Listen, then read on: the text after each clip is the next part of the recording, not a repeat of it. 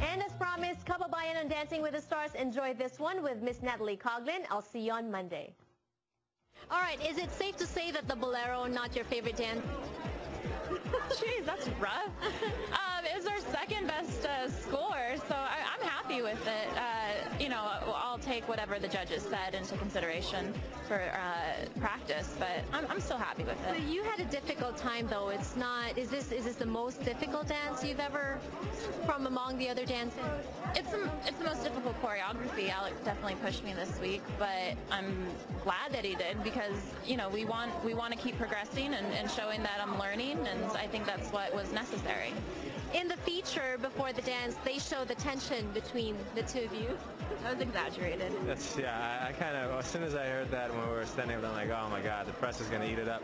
Uh, the thing is, uh, there is no tension. It's just that one one moment where we are trying to just change things around, and uh, we were with each other such a long time that at some point anytime you have a, you have a competitive environment, something is going to go up or down in pitch, but it doesn't mean anything because everybody goes through that. Yeah, and I think it also reads differently too, because when I, you know, when I'm frustrated, I just get quiet and I think a lot, and I think when you see that on camera, it just seems a lot different than it actually is in person. Let's try to create some tension. Don't hate me. Um, what's the most difficult thing about dancing with Natalie? Uh, Actually, to be honest with you, I love dancing with Natalie. I think she's very competitive, and uh, that's probably one of the most things that I, one of the things that I admire most about her because I know she's a very hardworking person. And I try to lead sometimes. Uh, it's not really that. It's not. It's not a big deal. But yes, let's make it a big deal. It, she's she likes to drive. Let's say that. You are amazing, Natalie. We love you. When you dance, are there times when you think, "Whew, I'd rather be swimming"?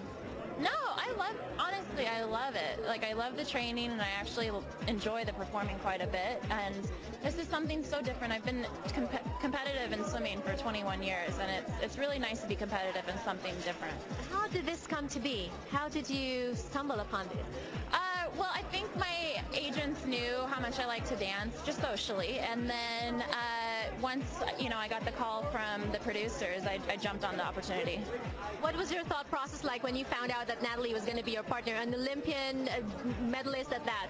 I felt very lucky from the beginning. First of all, because we're both local, we're from the same area, and we both went to Berkeley. I kind of did my research a little bit, and uh, I knew that she was going to be a competitor, and that's that's the key for this for this show. And yes, it's a competition. Who do you think is going to be giving you guys a hard time for that trophy? Definitely Maya and Dimitri. They're, they're doing a really amazing job, and she's a natural dancer, but um, probably them. I agree. I think I think Maya Maya is very strong.